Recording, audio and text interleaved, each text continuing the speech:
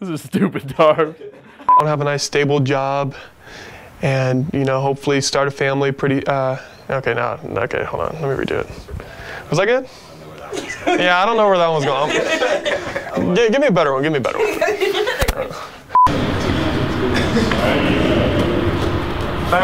Oh!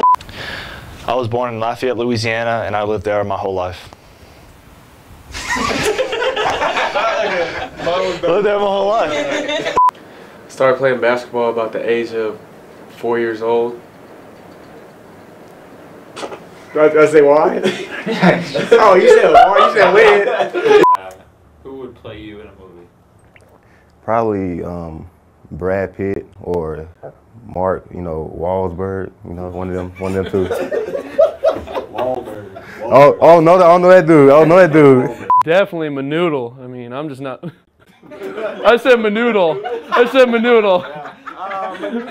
Manoodle. Then they'll be like, he doesn't even know how to say it.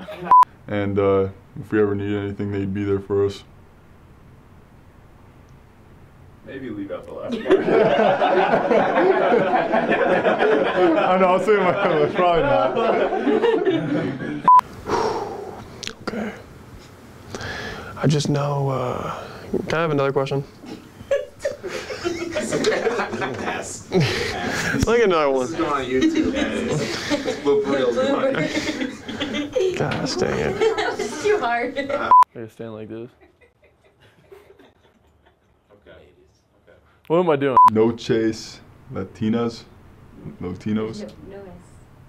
Like, do I even have to say that? Being a Division One collegiate coach.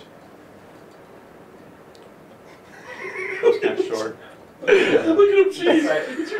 Talk about why you want to be a coach. Some good tacos here in El Paso. Um, psh, that's all I can think. of. That's good.